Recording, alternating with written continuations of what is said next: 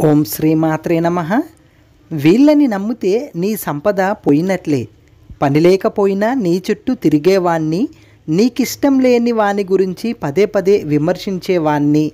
నీపై అతి చనువును ప్రదర్శించేవాడిని కలిసిన ప్రతిసారి డబ్బు గూంచే మాట్లాడేవాణ్ణి. నీ సేవకులపై జులుం ప్రదర్శించేవాణ్ణి.